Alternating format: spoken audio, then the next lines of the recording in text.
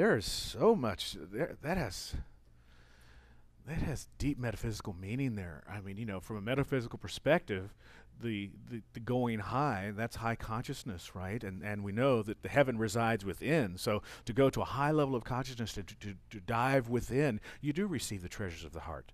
So wow, you know, the languaging of of religion is the same. I was at um, um, the inter- Simi Valley Interfaith this week, and we had um, a question that was asked How do you use your faith when you're in times of, of sadness or distress? And Baha'i, Jesus Christ of Latter day Saints, uh, the woman representing the Universalist Church, the woman representing the Wiccan Church, a Baptist minister, a Methodist minister, um, and I were all there. And we all answered the question. And it was so, it was exactly what interfaith was all about because we all answered the question from the same space. You know, we did it from our particular, particular perspective of faith, but the way we dealt with dealing in suffering and pain was from the same space. And it showed that there really is only this one, this one treasure of the heart that comes from that high level of consciousness, which can be reached from religiarity, from linking together, from religion. That's what it's all about. That's what this is about. The CSL, the CSLs that are, are us, and there's a lot of them. I was, yeah, I know, Toys R Us is gone. but CSLs R Us is here. We got it going on, folks. It's got it. You know, we are the center for spiritual living, right? That's what they've branded us, renamed us from the Science of Mind, the Church of Religious Science. I still like that, but uh, this is what we are centers for spiritual living. And when you think about the center, of course, we talked about this a couple weeks ago. Uh, maybe it was last week. Was, everything's kind of blending. I've been doing a lot of traveling. Went to see my mom this week. She's moving her right side. It's awesome. Yeah and she was actually reading a poem. I was like, gosh, you're just doing wonders. It's really great. But, you know, when you think of the center, and from Dr. Holmes' perspective, he talks about we are centers of the divine, right? That we are the, the, the spirit that is centered everywhere, that has the center within us and a circumference that is nowhere. And if we were thinking about infinity, I think that was last week we did the infinity exercise where I talked about what's up, you just go up, it's total infinity, right? Down, below us, total infinity. To the left, to the right, it just stretches out. Space goes out beyond. So if you're looking up and down and left and right, and we're talking about infinity, where does that leave each and every one of us? Right in the center of it. Right in the center of it. So we are the centers for spiritual living, okay? But the other thing about the center is, as we were driving back, we drove through a couple little towns. I love Arroyo Grande, the center of Arroyo, of Arroyo Grande. That's where all the business comes together. That's where everything, all the services come together in the center. So, as a center for spiritual living, all our services for living a spiritual life come together here. And that's why we talk about meditation. That's why we talk about classes. That's why we talk about journaling. We talk about all the aspects that music, all the aspects that can bring a centered life to each and every one of us. So, that's one of the CSLs, right? But we are also, each and every one of us, a center of spiritual living. Because we have all this access to this, we are a center of spiritual living. And the center of spiritual living is amplified by being conscious spiritual livers.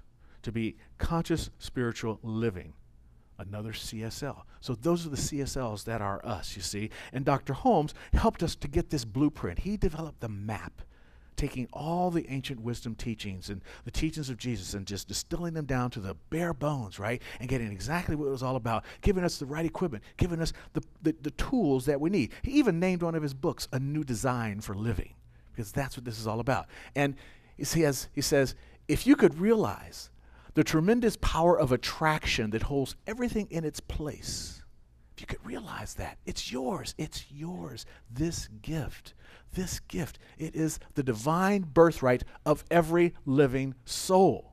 This living this centered life is the divine birthright of every living soul. However, the challenge is that a lot of us think in terms of limitation.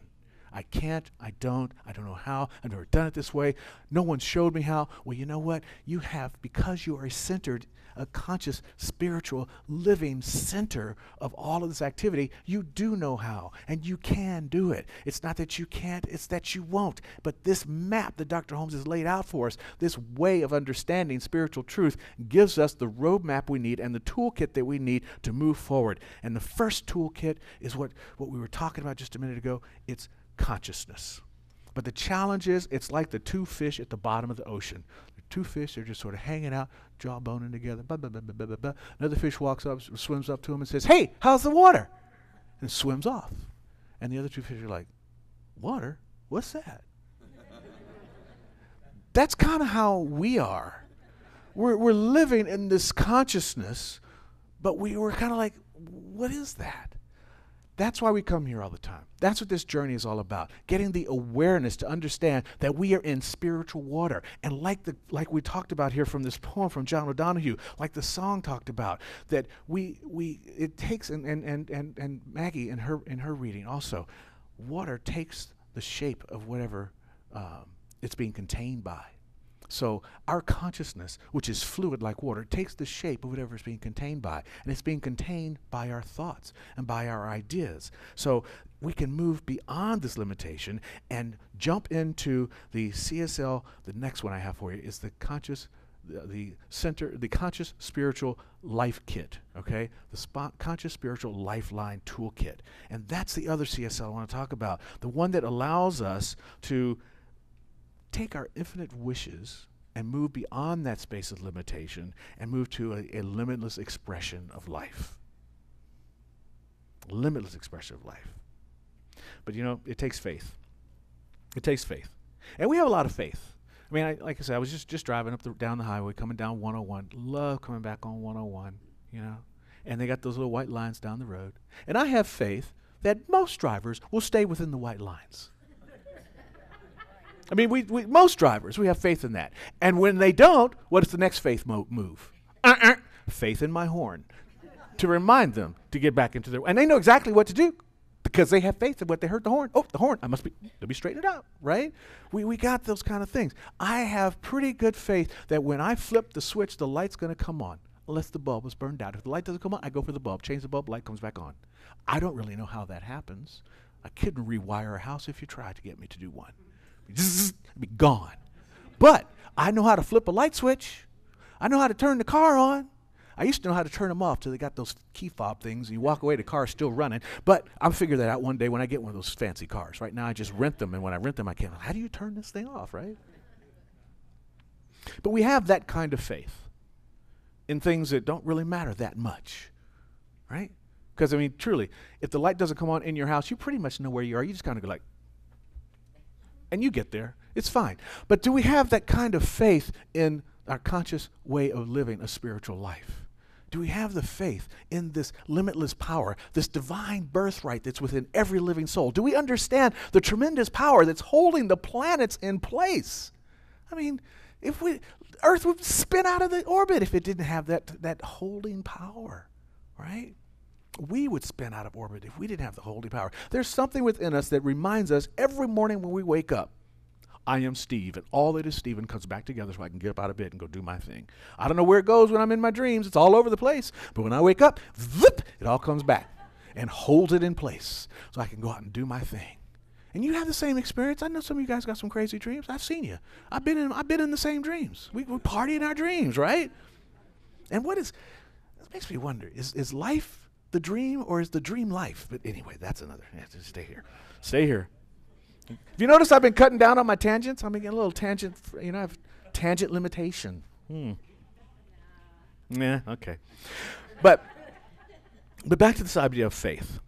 If we can get into this idea if we can get more faith into that, then we can add more conviction into the experience of life that we're having. We can put more faith in it, we can put more conviction in it, and then the universal laws that are listening to us all the time do not get the mixed messages. If you're sending mixed messages out into the universe, a mixed message is like flying around the airport and never landing.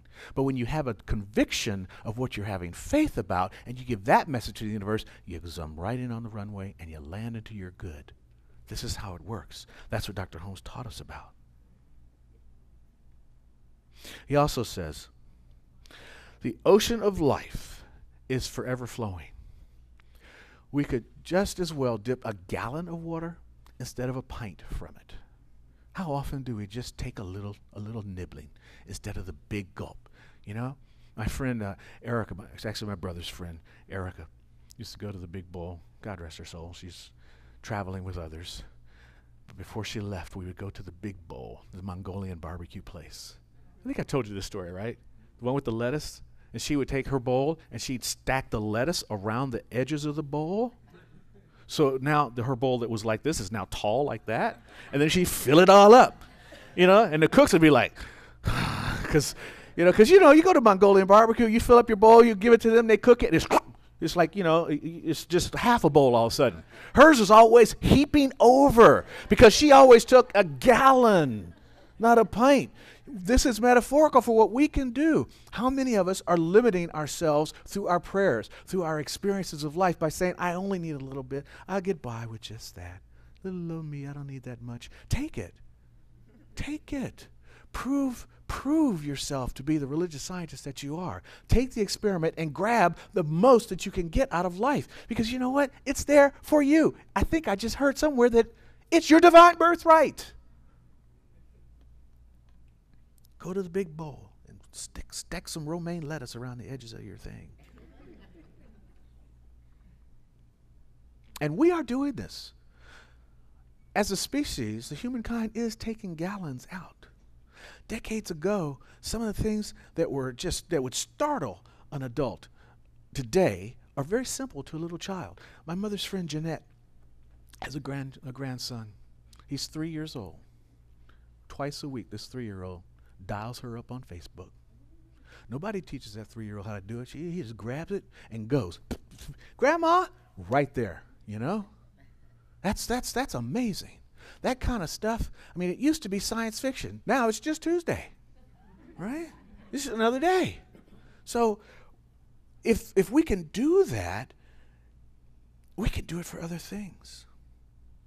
We can do it for global warming instead of and, and, and bring in the, the green revolution. Whatever you might think about how they termed it and whatever they're doing with politics about it sustainable life makes a lot of sense. Living sustainably on the planet makes a lot of sense. I mean what the heck is clean coal anyway? Have you ever touched coal? Any of you guys live up north? We used to live, we had coal. You know what you use coal for? You go and you draw on the sidewalk so you can play hopscotch. You know? Coal is dirty clean coal. And Speaking of that, who decided that diesel is green? On the pump? Why is diesel green? Diesel is stinky dirty. That black soot coming out, the, the, the thing should be black or brown or something, you know? Anyway, I, just, I just get, I, some, some things just get my ire going. Just get me going. But we do have the ability to make some major changes, to dig in with the gallon dipper and make some major changes in the world. Coming back down here, I, Tesla has taken over. It's amazing. I was driving down the 101. It only happens in LA. Well, up in the Bay Area too. They're, they're, they're, they're, they're, they got that kind of prosperity going. But down here, I was coming back down on the 101 and I saw four Teslas back to back to back driving down the road together. I thought it was a car thing, you know, but they didn't have a car truck, so they obviously were on the road. They belonged to people. They were just driving down the road. I said, wow, look at that. Four Teslas in a row. It's amazing. But we're in a dilemma. Howard Thurman talks about the dilemma. He says the dilemma of modern humankind is to match spiritual and moral maturity with the amazing power created by our mastery over nature. We can blow the place up. Blow it up gone. India, Pakistan, the whole world goes up. We could do that. Or, or we could use that same kind of knowledge and power the entire planet. You know? We could feed everybody. No one needs to be hungry. We have that kind of knowledge, but we've moved so fast, we haven't kept up with our spiritual or moral maturity. And that's where being a CSL, being a center of spiritual living, comes into play because we ha- we're a center. All the knowledge, all the information is available to us, and we're a center. We can put it together in our town square, right? In, in our town hall, and let our governance, our, our thoughts, create the mastery over all that we have, all this amazing power that we have amassed on the planet. We're the ones that get to do that kind of stuff. We're the ones that are talking about that. And you know what? We're not the only ones. The Baha'is are talking about it. The Latter day Saints are talking about it. The, the, the Muslims are talking about it. The Hindus are talking about it. Everybody's talking about it, but who's doing anything about it? It's us to us. It's up to us. It's time. It's time for us to do something about it. Done with New Zealand. Done with Pittsburgh. Done with Thousand Oaks. No more. Time to do something about this stuff.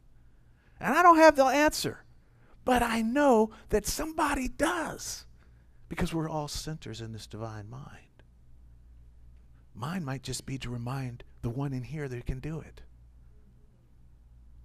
You might just be the one to go talk to your grandkid who does it, or your neighbor's kid who does it, or your neighbor who's an engineer who goes off and does it, or your your best friend who's a filmmaker who makes the next film that creates thought that somebody does it. Who knows how it comes out? Maybe it's John Lynn who writes the next song that he gives to the powers and they read it, they sing it in China, and it does it. I don't know how it's going to happen, but it's time.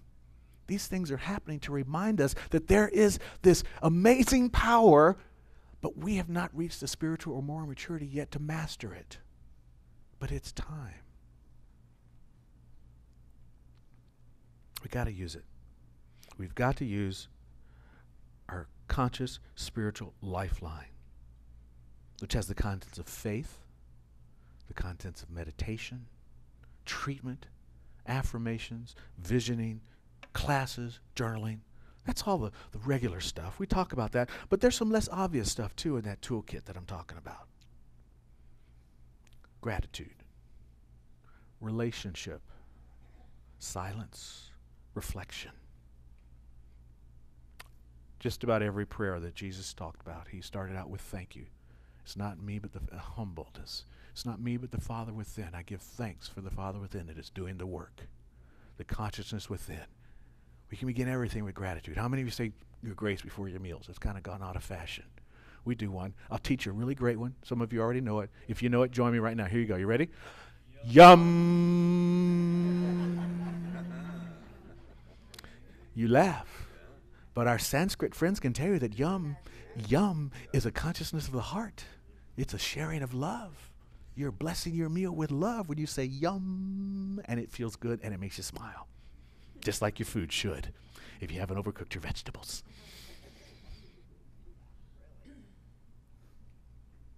We are relational beings. I defy any of you to describe yourself without a relationship. I am a friend. I am a son. I am a brother. I am a minister. I am a man. I am in love. We're all about relationship the number one relationship we can have, Heather was singing about it in that song, to go to the kingdom within and have a relationship with the treasure trove of knowledge that is within you that is God itself. We don't have enough devotional work in the science of mind. I want to talk more about that as the year goes on. To be in devotion, to love and to praise Spirit, that is residing within each and every one of us, to have a relationship with God. That was, remember, we were talking about living, this is a year of living with intention. My intention is to have a relationship with God like a friend. I've been starting my, my prayers in the morning. Dear friend, dear friend and loved one, I know the truth, and the truth is known through you by means of me have that relationship. Take the time to devote some quality time if you do quality time with your partner, if you have date night or something, have a date night with God.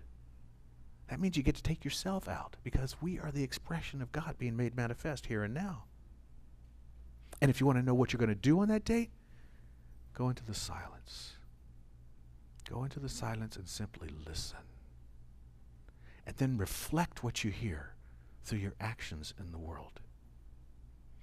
Howard Thurman says, it is no ordinary experience to spread our lives before the honest scrutiny of our own selves. But there is no escape from such a necessity. It's not an ordinary experience. People don't do it. We don't take that honest time to reflect, that honest time to go into silence, that honest time to devote ourselves to spirit. But when we do, something magical happens because it is a necessity and we should not escape from it. If you try to escape from it, life will go cosmic two by four. Hopefully it's balsa wood. But if it's oak, ooh baby. And don't get don't let it come down mahogany because that is gonna leave a really nasty knot.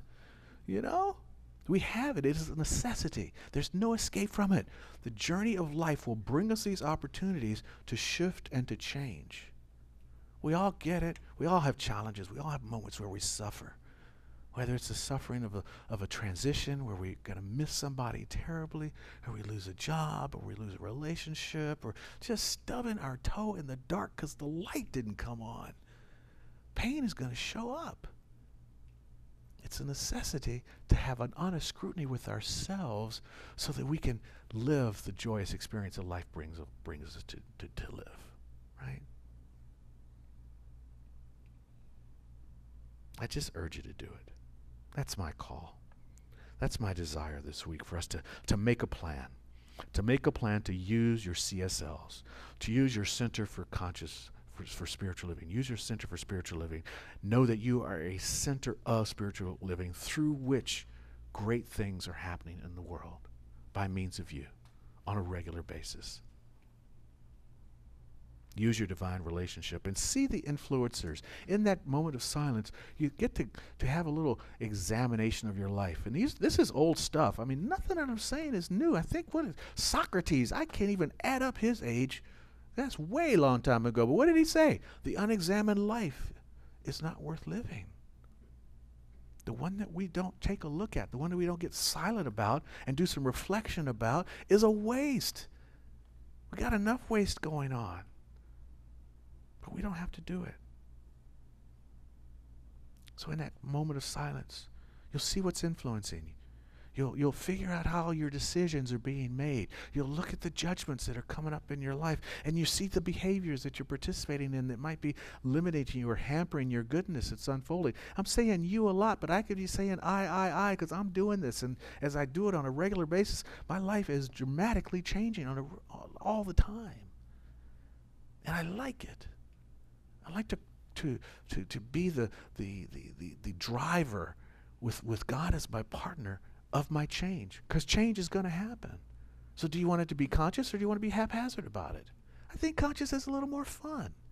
And even if it doesn't come out the way you want, that's okay. That's just a detour because you've already set your intention through a deep sense of faith and conviction. So if it didn't come out right now, that just means you're taking the, the scenic route to get to where you're going to go. But you're going there because you set your mind on where it is you want to go through that reflection, through that moment of silence, through that contemplation, using that divine relationship. Howard Thurman says it so well. I usually don't put questions in my quotes, but he says, We're at a crossroads. He says, I wish I could do his voice. It's so beautiful. Oh, for how many years by our deeds shall we curse God and die when we could reflect God and live? That's where we are right now from, from the islands far, far, far, many, many miles to the south. To just a hop, skip, and a jump over a hill into Thousand Oaks. We have seen enough of the cursing of the divine and the death that it brings. But now it's time. It is time to reflect God and to live. And as centers of spiritual living, coming to a center for spiritual living, you're the conscious spiritual liver that gets to do it here and now. And so it is.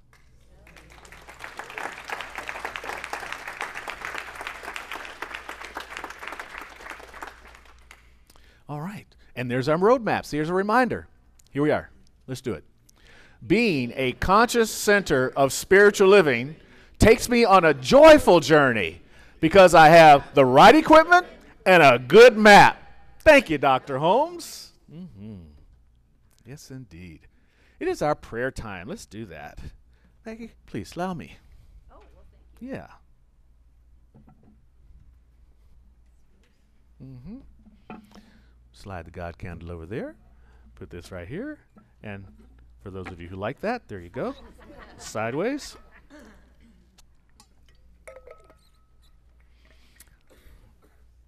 All right, so time for the healing prayer. One of the things I talked about in the toolkit is treatment. Five steps. Dr. Holmes figured it out. Could be three steps, could be one step if you do it. Doesn't matter. We teach five steps in the beginning because it's like, well, these, these wonderful musicians can tell you, if you don't learn the scales, you can't write good music, right? So eventually, once you've figured out the five steps, you get to go all over the place and start however you want to because it's really about consciousness and about understanding that there's only one life. That life is God. That life is my life, your life. That life is real right here, right now. Everything that's in it is here, right here, right now. Thank you for that.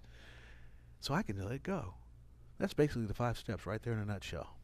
So I'm going to do that part of it. But the realization part, we all get to do together. If there's something you would like to realize as true and already happening, because remember, we're talking about infinity. So everything is already existing in infinity. And we are centers within the spiritual life right? So if we know that it's already happening and we claim it, then what happens? It comes to the center to be distributed out as an experience. So that's what we're calling forth. If you have someone in your life that you want to bring a centered experience into expression right here and right now, I invite you to say that name or say that condition out into the room and we'll pray together.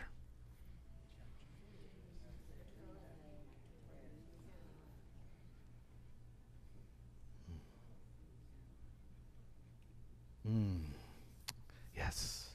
Dear friend, Mother, Father God, divine love, great spirit, Allah, Baha'u'llah, Buddha, Mohammed, Joseph Smith, all the various ways that we have identified spiritual masters, it drives us all the way back to one thing that there is one life. That life is God, and that life is everyone's life in this room, and everyone we've been speaking about, and everything that is experienced here and now. And so, from this understanding and this unity and this unified consciousness, we have power. We have directed our faith into a deep conviction that says, yes, yes to our concerns and our issues and our intentions. Yes to healing and wholeness. Yes to the resolution of relationships. Yes to peace spreading across the planet. Yes to the end of senseless violence. Yes to the end of violence, period. We don't even need it. Because we have something that's so much more powerful. It's called love. Let's use the power of love to heal our broken hearts. There's a, a line in, in, in the secret life of bees. I wish that someone would ring the bell and dab mercy on my poor soul. It's time to ring the bell and dab the mercy of the divine self givingness on the souls of every experience that is being made manifest in life today. By this word, we have set that in motion. We recognize that there may be time to travel from eternity to now. And we allow that time to take place with a deep sense of gratitude and faith and conviction. It says, Yes, it is already done. So we release that prayer now to the law by simply saying, And so it is. Mm-hmm. More.